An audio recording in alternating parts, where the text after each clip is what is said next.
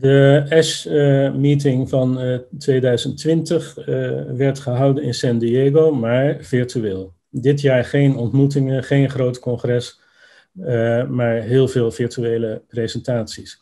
En die waren uitstekend. We hebben heel veel nieuws gezien op de ASH en met name de overgang, geleidelijke overgang van traditionele of standaard chemotherapie, de IMIDs met pomalidomide, lenalidomide en de proteasoomremmers bortezomib, carfilzomib, naar nieuwere immuunbenaderingen, met name dus de antilichamen, waarvan daratumumab natuurlijk al langer bekend is, maar ook andere.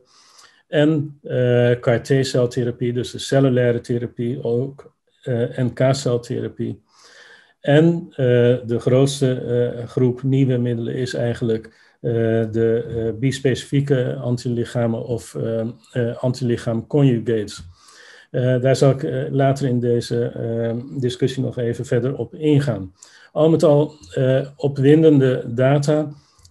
er staat heel veel, er gebeurt heel veel, maar er staat nog veel meer te gebeuren.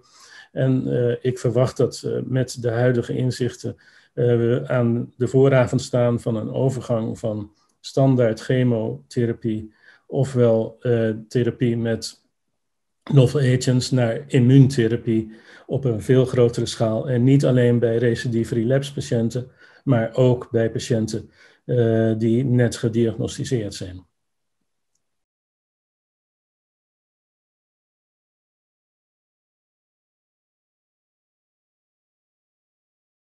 Zo, op de S uh, zijn ook de resultaten gepubliceerd van de HOVON 95 EMNO2-trial.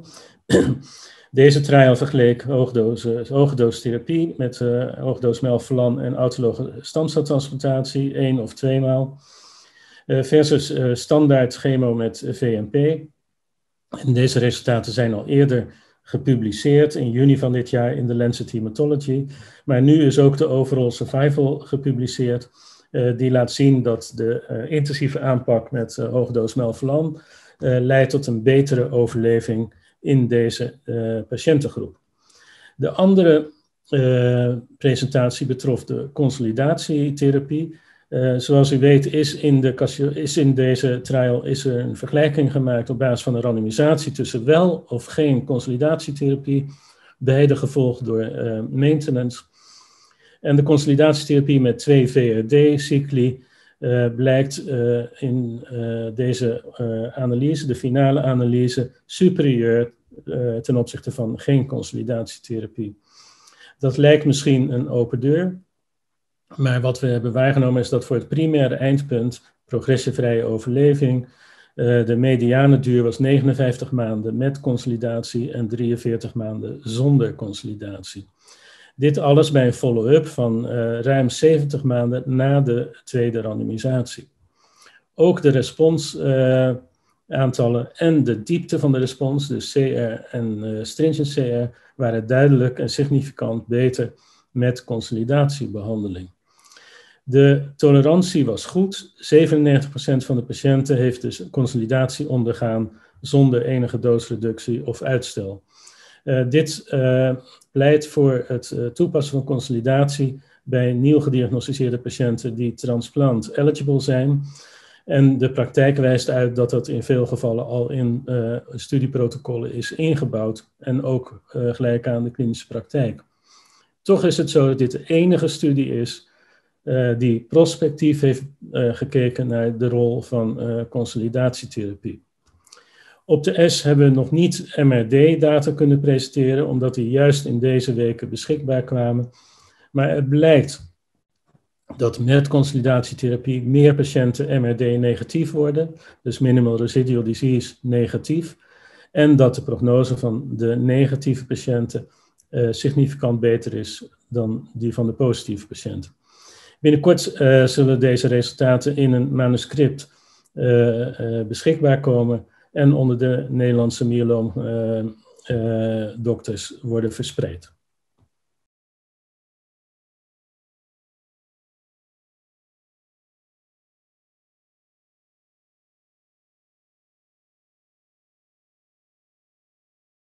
Ja, de Apollo-studie is een uh, studie ook van het Europees Netwerk werd gepresenteerd door Dr. Dimopoulos, de principal investigator. het is een fase 3 studie, dus een gerandomiseerde studie naar de vergelijking tussen pommelide dexamethason bij patiënten die tenminste één eerdere lijn therapie hebben gehad vergeleken met uh, pommelide dexamethason plus daratumumab. En bijzonder is dat hier daratumumab subcutaan gegeven is. Het is de eerste grote gerandomiseerde studie waarbij dara subcutaan gegeven is. De resultaten tonen dat het primaire eindpunt, progressievrije overleving, uh, significant beter is met toepassing van DARA subcutaan, uh, met 37% reductie van het risico van progressie in deze patiëntengroep. Ook de responsen zijn uh, significant beter. Meer dan zes keer zoveel CR's, in totaal 25% versus 4% zonder DARA. En ook significant meer MRD-negativiteit. Opmerkelijk is dat patiënten die eerder met lena, lenalidomide behandeld waren en daar refractair voor waren, en dit is in toenemende mate een groep patiënten waar we mee te maken krijgen, dat in die groep uh, DARA Pomdex een langere PFS eh, induceerde dan Pomdex alleen. bijna 10 maanden versus 6 maanden. Ook werd duidelijk dat DARA subcutaan veilig is, weinig bijwerkingen oplevert en er zijn geen nieuwe, wat we noemen, safety concerns. Dus ehm, de DARA subcutaan toepassing is veilig. Er zijn heel weinig IRR's, dus zeg maar pulmonale of eh, bronchiale klachten, geobserveerd. Uh, en kan dus veilig gegeven worden en is effectief voor patiënten die tenminste één eerdere therapie hebben gehad, inclusief lenalidomide, inclusief patiënten die refractair waren voor lenalidomide. En hetzelfde geldt voor een PI, dus voor bortezomib of carfilzomib.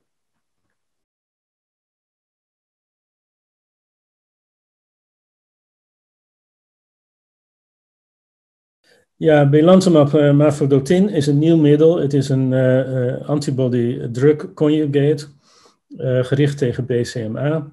een middel is goedgekeurd door de FDA en door de EMA en kan dus nu ook worden toegepast. het middel is effectief in vierde of latere lijn van therapie, waarvoor de indicatie ook is goedgekeurd. Uh, en we zien dat er ongeveer 31% eh, responsrate is.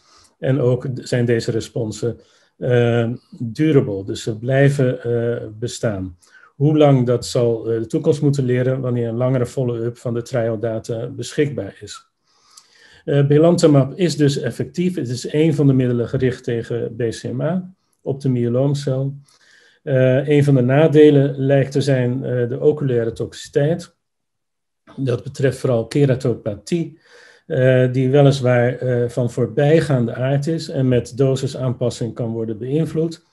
Maar de aanbeveling is toch dat als u patiënten behandelt met, uh, of als patiënt behandeld wordt met dit middel, dat de begeleiding door een oogarts met ervaring op dit gebied eigenlijk heel erg noodzakelijk is.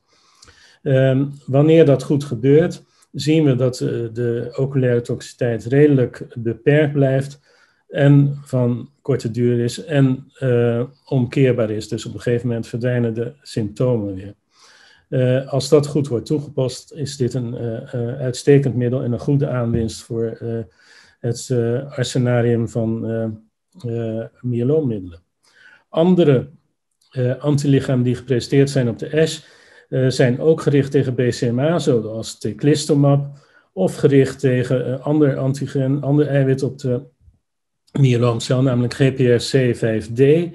Dat is een mond vol, maar ook dit uh, epitoop komt specifiek op myeloomcellen voor. en een middel daartegen is talketamab.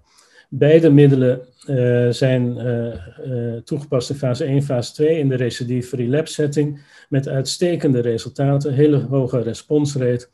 Voor teclistamab geldt dat er eigenlijk geen echte bijwerkingen worden waargenomen. Bij talketamab zien we wat effect op de huid en de nagels. Maar deze middelen zijn in late lijnen van therapie zeer effectief. En de verwachting is dat deze binnenkort in een vroegere setting van de ziekte zullen worden onderzocht. en hoop, hopelijk een aanwinst zijn voor de toekomst.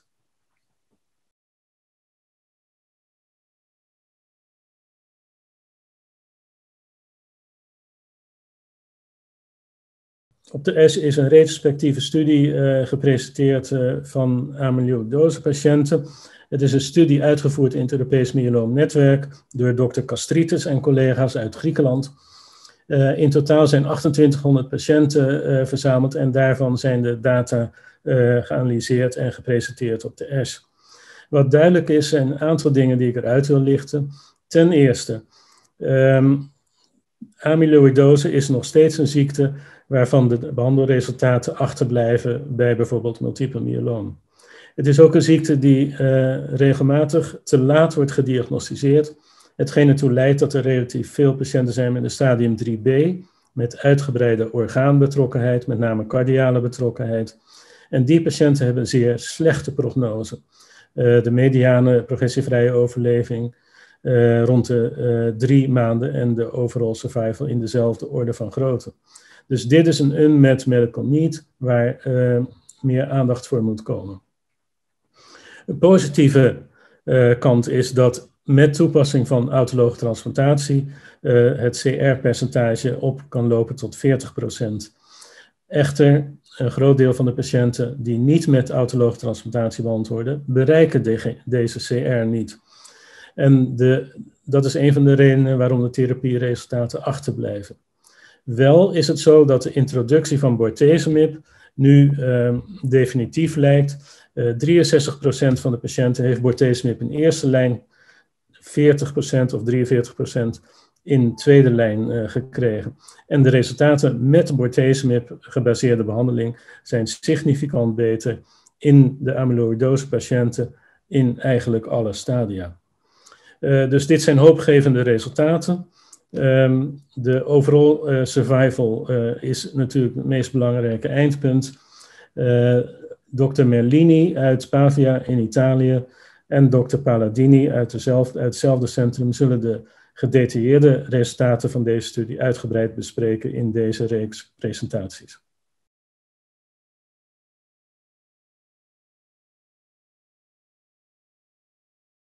Wel, misschien kan ik eindigen met een opmerking over de CAR-T-celtherapieën.